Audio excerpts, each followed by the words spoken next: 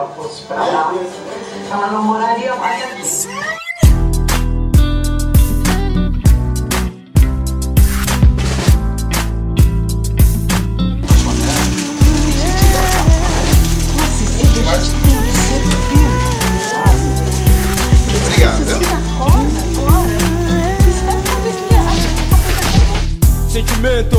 União. Palavra-chave, liberdade de expressão. Vem ver nosso baile diferente, aê. Vem ver nossas rosas resistentes. Tente copiar, não dá, os boy treme. No nosso baile não tem Mr. M. Pegue sua máscara e ponha no cabide. Mostre sua cara indignada pra elite. Vamos dar um grande baile na cidade. Com passeatas, militâncias de verdade.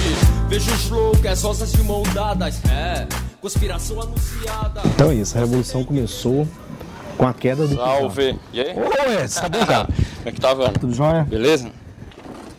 Tudo bem? Beleza? E aí? Tudo bom? Então senta aí, nós vamos trocar uma ideia sobre a história da Revolução Russa. Uh, Tá ligado? Então, bom. ela começou, na verdade, com a queda do czar, que era tipo um rei, né, que existia lá, lá na Rússia. Então nós vamos começar a conversar agora sobre o que, que aconteceu nos meses seguintes, depois da, que o czar cai, né? Como é que foi esse- essas paradas aí? Bom, teve um processo muito louco, na verdade, depois que o czar saiu. Só que nesse período, a maioria dos, dos é, os líderes né, do partido bolchevique, que era o partido principal lá da Revolução, eles estavam exilados, eles estavam fora do, do país.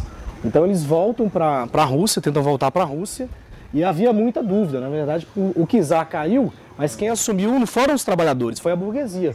Então o partido estava muito indeciso sobre o que fazer. E nesse momento volta uma figura que é muito importante para a Revolução, que é o Lenin, que é um dos principais dirigentes né, da- do Partido Bolchevique. Então ele volta com muita determinação de que eles deveriam, na verdade, tomar o poder e não governar junto com a burguesia. Bom, né? Mas aí eu, eu acho que nessa do Lênin, os, os países vizinhos, como tem vários países vizinhos, tinha que se unir, né? Para ver se conseguia fazer um país melhor para a Rússia e para todos que estavam em volta. Né? Então, depois da queda do czar, muitos eh, dirigentes né, do Partido Bolchevique eles estavam tentando voltar para a Rússia. Eles estavam no, no exílio, na prisão. E o partido estava muito incompleto, então eles estavam também muito indecisos sobre o que fazer naqueles dias logo depois da queda do czar. Então, na- naquele momento, os bolcheviques não faziam oposição ao governo provisório, que na verdade o czar cai, mas quem assume é a burguesia. Eles chegam até a escrever no jornal deles, que chamava Právida, de que deviam até apoiar algumas medidas do governo provisório. Então o que, que acontece? O Lenin, que também era um dirigente bolchevique, um dos principais dirigentes, ele volta do exílio também, ele consegue voltar do exílio. Só que ele tem ideias totalmente radicais e diferentes do que o partido, da indecisão que o partido tinha naquele momento. E ele lança um documento que chama Tese de Abril e propõe mudar totalmente o rumo político do partido. Não demorou muito para confirmar que a política de Lenin era mais correta. A tensão social só aumentava. O povo que havia derrubado o czar, organizado os soviets, ocupado fábricas e grandes latifúndios, não tinha visto suas reivindicações atendidas. Era minada pela desobediência.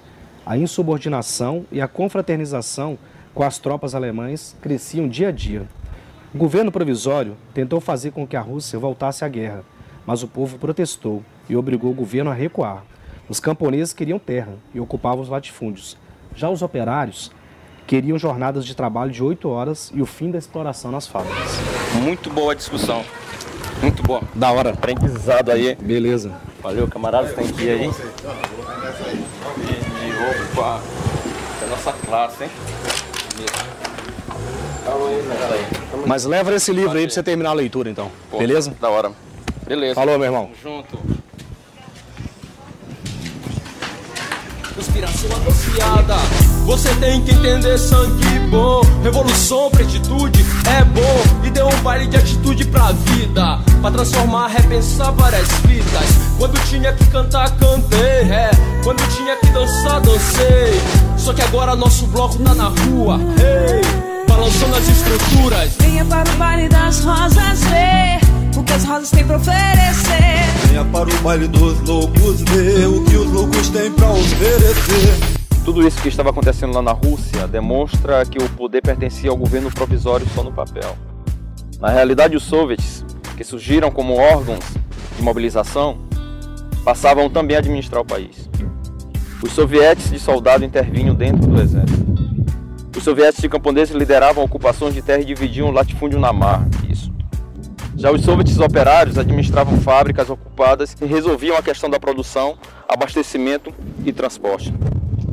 O problema é que a direção dos soviets estava na mão dos mencheviques e dos socialistas revolucionários, que de revolucionários não tinham nada, porque eram contra a política dos bolcheviques de todo o poder aos soviets.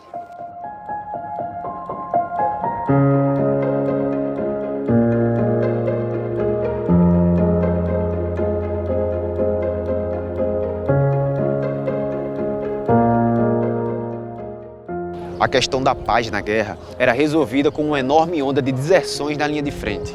E a resposta do governo era muita repressão. Eles fuzilavam os soldados desertores e queriam proibir os comitês de fábricas. E tudo isso foi feito com o apoio dos mencheviques e socialistas revolucionários.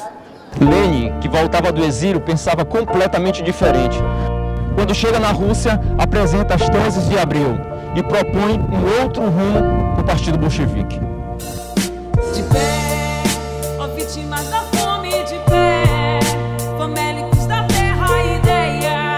A chama já consome a crosta bruta que é só terra de pé.